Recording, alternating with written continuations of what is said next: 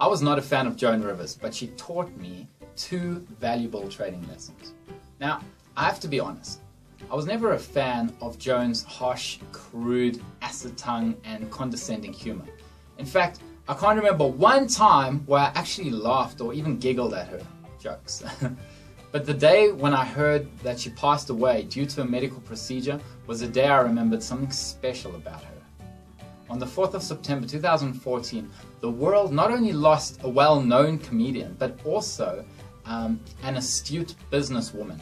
And you probably didn't know this, but in 2009, Joan Rivers was announced the winner on Donald Trump's series, The Celebrity Apprentice. She was competing against 16 celebrities such as Dennis Rodman, Clint Black, uh, Tom Green, Jesse James. Uh, I can't remember the rest. But from day one, Joan Rivers took the limelight as she ordered the other celebrities around with every task that they were assigned. And on day one of The Celebrity Apprentice, I knew that she was going to win.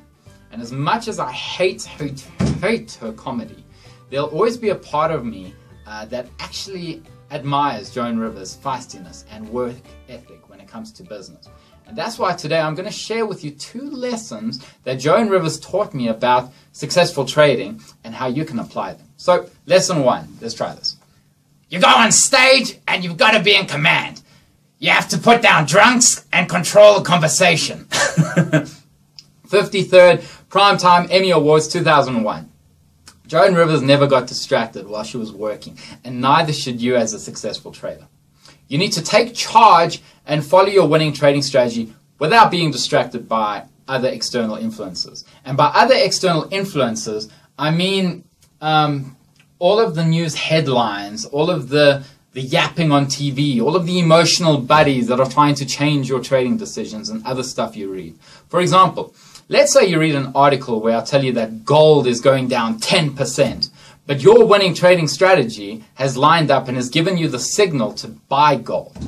Never, ever, ever go against your trading strategy. Lesson two. Take every chance and every opportunity that you can. Don't say, I can't, I shouldn't, or I'm too tired. the Philadelphia Inquirer, 1995. Now, most beginners, uh, most beginner traders come into the market with a deluge of excuses. I can't follow my own trading rules. I'll miss this trade. I'll take the next one. I'm too tired to trade. If you say things like this, then I'm sorry, but you got to wake up. You're not fooling anyone with those excuses, right? Um, each day you make an excuse and do nothing is the day you miss out on a potential trade that could take you one step forward to your financial fortunes. If you're making these kind of excuses, then you're probably going through typical trading doubt syndrome. And this is where you doubt your trading strategy and yourself. No matter how good your trade looks, the only button you'll press is the off switch on your computer. So what can you do to stop these excuses and start trading success process? Try say that five times. Well, first, you have to find the cause and why you're making these excuses. Maybe you feel that you don't want to lose a big chunk of your hard earned money. Well, if that's the case, then simply rest less and you'll feel more at ease. Or, um, if you don't think you should trade because you don't have what it takes, then you need to go back to the books, go back to reading and asking and going to sites, trading tips and investors clubs. today. but you can either read top trading psychology books or you can ask me and I'll be there to guide and motivate you until you achieve the success that you deserve.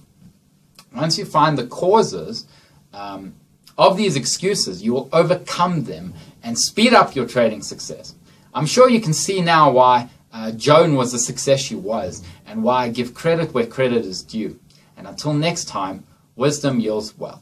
If you enjoyed the video, then don't forget to give it the thumbs up and click the subscribe button right now, right over there, before I explode.